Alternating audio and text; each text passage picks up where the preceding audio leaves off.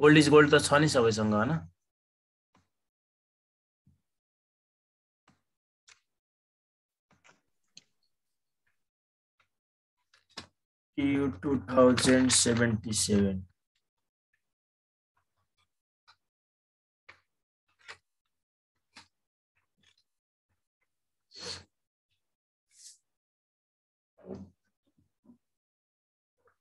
Question number पन्ध्र कहिले सोह्रमा सोध्छ एउटै टेन मार्क्समा सोध्या चाहिँ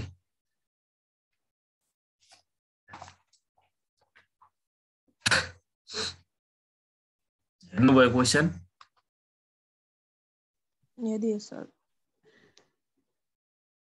हेर्नु त suppose that an open end mutual fund has NAV of rupees fifteen अरे ओपन इन फन्डको ओपन इन म्युचुअल फन्डको एनएबी भनेको चाहिँ कति रहेछ? पन्ध्र रुपियाँ रहेछ है। And the offering price of the share is rupees sixteen offering price भनोस् selling price भनोस् कति रहेछ सोह्र रुपियाँ रहेछ है र investor purchase hundred shares of this mutual fund इन्भेस्टरले चाहिँ पर्चेज कति गर्दो रहेछ सयवटा म्यु सेयर किन्दो रहेछ यसको भनेपछि उसलाई चाहिँ पढ्ने भनेको अब यहाँ सय इन्टु सोह्रको दरले पढ्छ है at the end of the year and the investor receive rupees two per share in cash dividend and capital gain अरे इन्ड अफ द इयरमा चाहिँ उसले दुई रुपियाँ पर सेयर चाहिँ क्यास डिभिडेन्ड र क्यापिटल गेन प्राप्त गर्दो रहेछ. And sells the share at NAV rupees eighteen भनेको यो at the end of the इयरमा नै हो। वर्षको लास्टमा बेच्दा चाहिँ उसले कतिमा बेच्दो रहेछ त? अठार रुपियाँ पर युनिट बेच्दो रहेछ है। भनेपछि हामीलाई गिभन इन्फर्मेसनमा हेर्नुहोस् त।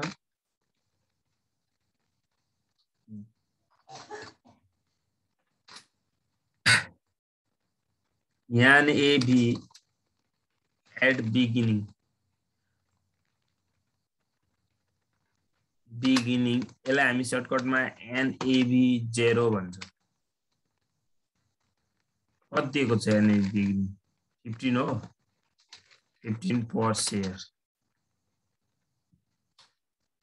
अनि अर्को छ हामीलाई अफरिङ प्राइस अफरिङ प्राइस अथवा सेलिङ प्राइस यसलाई चाहिँ तपाईँले अफरिङ प्राइसलाई पिनट मात्र डिनोट गर्दा पनि हुन्छ। छ पिनट सिक्सटिन हो?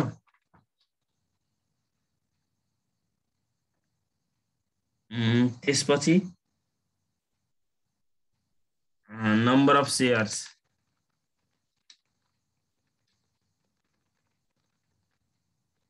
number of shares यसलाई एन मात्र डिनोट गर्दा पनि भयो. Number of shares yani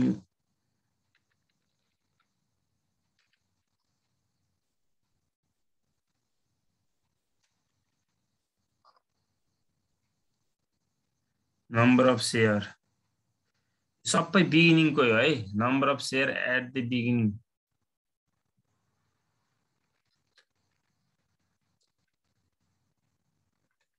सुरुमा किन्ने हो नि त होइन? बिगिनिङ भन्ने त्यसलाई एन नट भन्नुहोस्। कति दिएको छ? सय share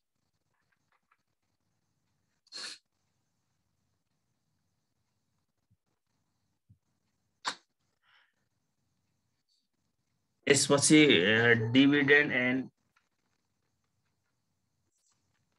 cash dividend and capital gain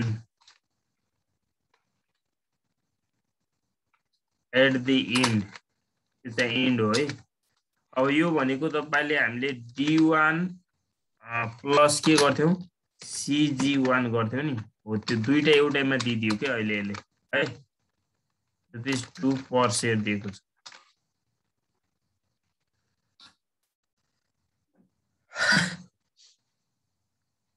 यसपछि यसले अर्को हामीलाई लास्टमा दिएको छ NAV at end NAB at end भन्नु नै एनएबी वान हो। कति दियो यो?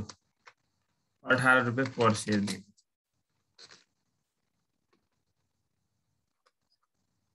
यो कसैले लेखेको कन्फ्युजन हुनुहुन्छ कोही? भन्नुहोस् त। गिभन इन्फर्मेसन सारेको कन्फ्युजन हुनुहुन्छ।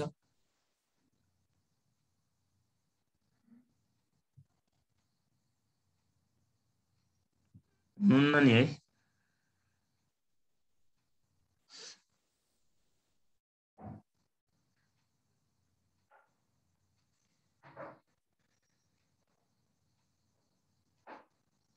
अब हामीलाई हेर्नुहोस् त ए नम्बरमा के सोधिरहेको? What is the HPR on this investment अरे?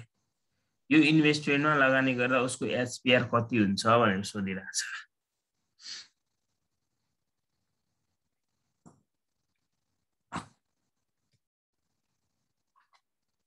ए नम्बरमा HPR on this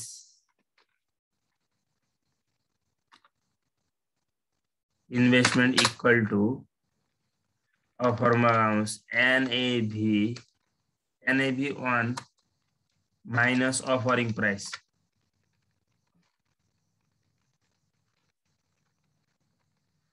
अथवा पिनट भन्दा पनि भयो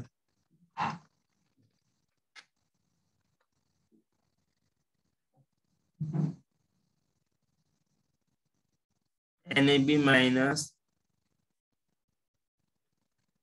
plus dividend 1 plus CG1 all divided. In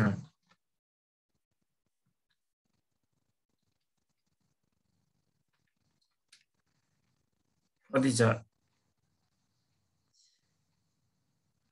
यसलाई हामीले एनएबी लेखेको छ नि यसलाई एनएबी इन भनेको यो प्राइस एट दि इन पनि डिनोट गर्न मिल्छ है यसलाई। यसलाई हामीले अफरिङ प्राइस एट इन पनि भन्न सक्छ है। अफरिङ प्राइस एट इन पनि भन्न सक्छौँ। यसलाई पी वान पनि भन्न सक्छौँ। त्यही भएर त्यहाँ फर्मुलामा के लगाएको यसको कन्फ्युजन नहुनुहोस् है। त्यही भएर यहाँ हेर्नुहोस् त हामीले राख्दाखेरि यहाँ अब यसलाई पी वान भनेर पनि लेख्न मिल्यो। यहाँ P one minus P naught plus one P naught गर्न यसरी मिल्यो है। कन्फ्युजन हुनुहुन्छ भने चाहिँ पी वान कति छ? एट्टिन माइनस पी नट भनेको सिक्सटिन प्लस क्यापिटल गेन र डिभिडेन्ड कति छ त? टू छ। डिभाइडेड सिक्सटिन गर्दा कति पर्सेन्ट हुन्छ? निकाल्नुभयो। कति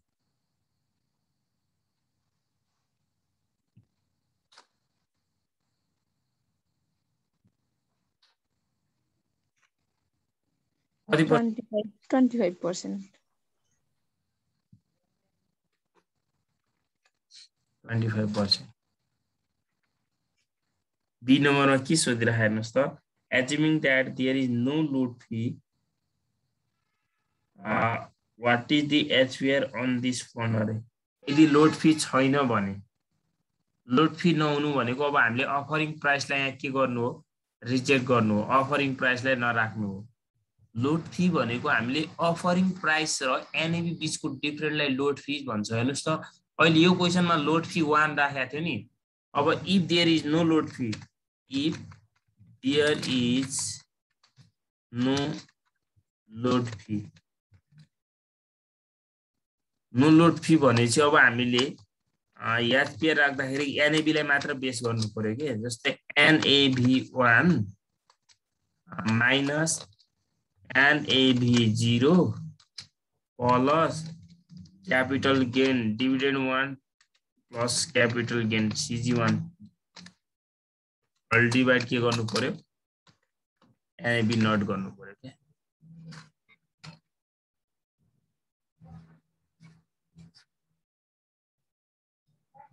त्यो बुझ्नुभयो हिजो लेखाएको फर्मुला इन्टु हन्ड्रेड गर्नुपर्छ पछाडि पनि। हन्ड्रेड नगरेर डाइरेक्ट राख्न पनि मिल्यो। एनएबी वान कति छ? एट्टिन माइनस एनएबी जिरो कति छ? फिफ्टिन हो। प्लस डिभिडेन्ड यो टु छ। गर्दा डिभाइडेड फिफ्टिन। कति हुन्छ यो?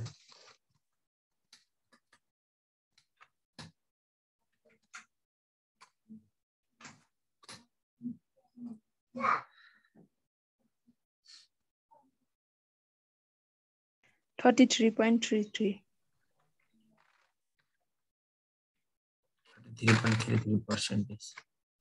अब चाहिँ सी नम्बरमा चाहिँ हिजोको एउटा केस हो रिइन्भेस्टमेन्ट हेर्नुहोस् त calculate holding period of return assume all the dividend and capital gains distribute are reinvested C नम्बरमा हामीले के निकाल्नु पर्यो? एसपिआर निकाल्नुहोस् रे इफ़ एसपिआर निकाल्नुहोस् if all dividend all dividend and capital gains are reinvestment.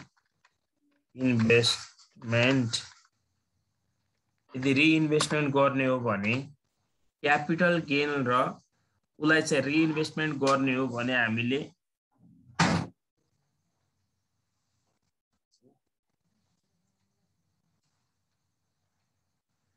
Capital गेनलाई र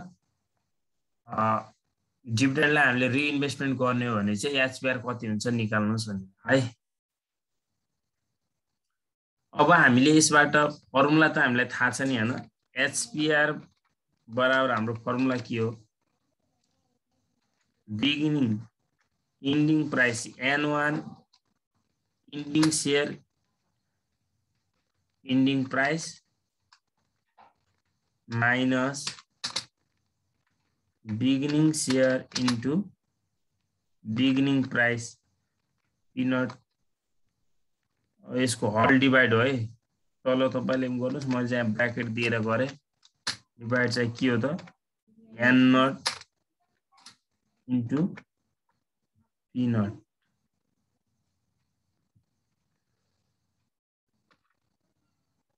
अब यो क्वेसनमा हामीलाई एन वान छैन। एन वान भनेको न्यु सेयर नम्बर नयाँ सेयर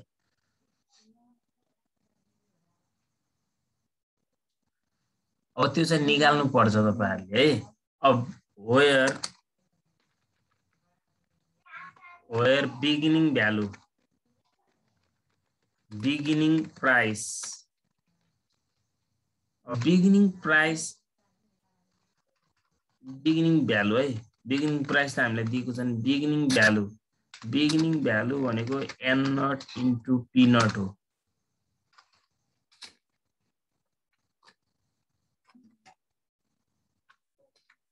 एन नट भनेको कति छ त हेर्नुहोस् त नम्बर अफ सेयर न सय होइन?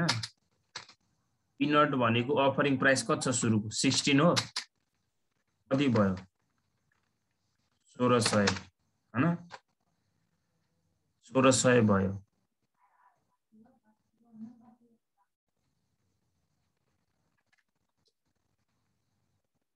cash dividend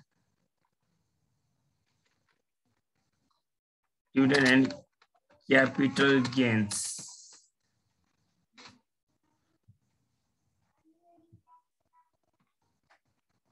total cash dividend and capital gain equal to कति हुन्छ? N naught into number of share कति छ हाम्रो नम्बर अफ सेयर सय हो होइन? सय इन्टु टू कति भयो? दुई सय भयो? दुई सय भयो। अब यो दुई सयलाई चाहिँ तपाईँले दुई सयबाट चाहिँ कतिवटा सेयर किन्न सक्नुहुन्छ भन्ने हो क्या? दुई सयबाट तपाईँले अफरिङ प्राइस एउटा सेयरको सोह्र रुपियाँ तिर्नुपर्छ भने कति सेयर किन्न सक्नुहुन्छ भन्नुहोस् त? Number of purchase new share तपाईँको टोटल क्यास डिभिडेन्ड कति छ? दुई सय। हाम्रो अफरिङ प्राइस कति छ? सोह्र। कति हुन्छ यहाँबाट? दुई सय भागा सोह्र गर्नुहोस् त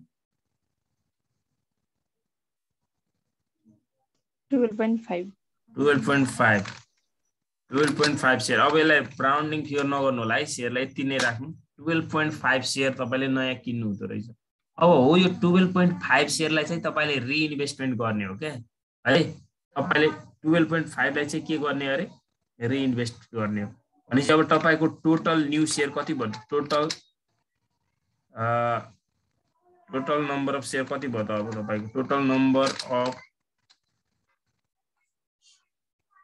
shares at end at end भनेको हामीले यसलाई एन डिनोट गरेका थिएनौँ अघि भने नि हेर्नुहोस् त। पहिलाको सय थियो अहिले कति भयो त? इन्भेस्टमेन्ट गर्दा। टुवेल्भ पोइन्ट फाइभ गर्दा one hundred twelve point five share तपाईँ के रहेछ त? न्यु सेयर रहेछ। अनि अब इन्डिङ भ्यालु पनि राखिदिनुहोस्। इन्डिङ प्राइस ending price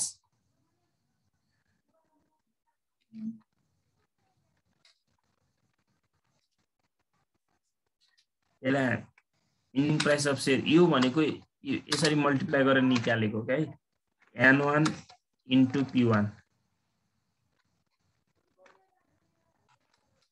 गरेर निकालेको एन वान हाम्रो कति छ? भर्खर निकाले एक सय बाह्र पोइन्ट पाँच इन्टु पी वान कति छ? एन कति छ? एट्टिन गर्दा कति भयो हाम्रो? निकालेर माथि भ्यालु राखिदिनुहोस् होइन। आइहाल्छ।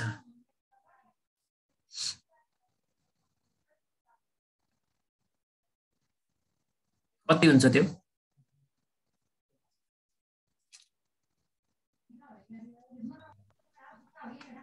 फाइभ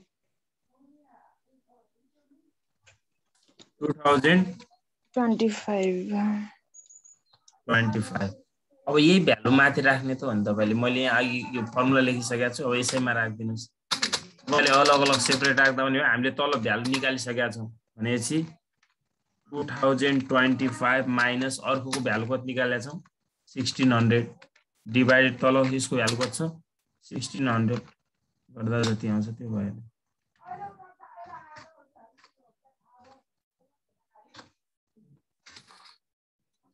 कति पर्सेन्ट हुन्छ